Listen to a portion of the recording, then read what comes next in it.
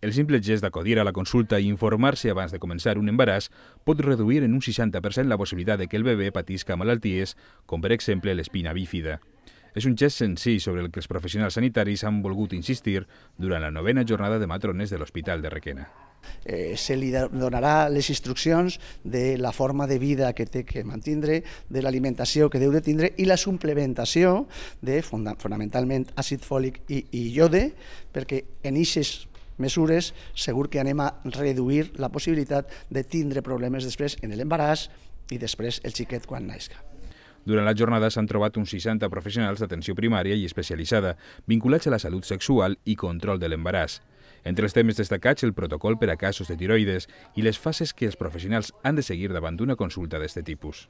Hi ha poca difusió, senzillament, eh? n'hi ha poca difusió. La gent sí que té consciència de l'àcid fòlic, però normalment el que fa és, és quedar embarassada i ràpidament consulta i se'l pren. Però és que ahir ja hem arribat tard.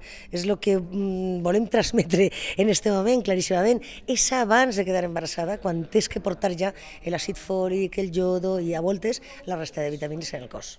I per últim, i dins de la mateixa jornada, temps també per a parlar de la necessitat de difusió entre la ciutadania. En este punt es destaca el paper de les comares.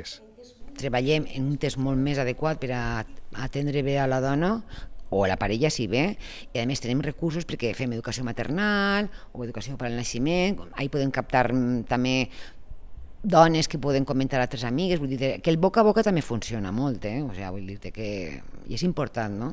L'Hospital de Requena realitza també campanyes de conscienciació entre la població que, segons expliquen els responsables, van donant resultats a poc a poc.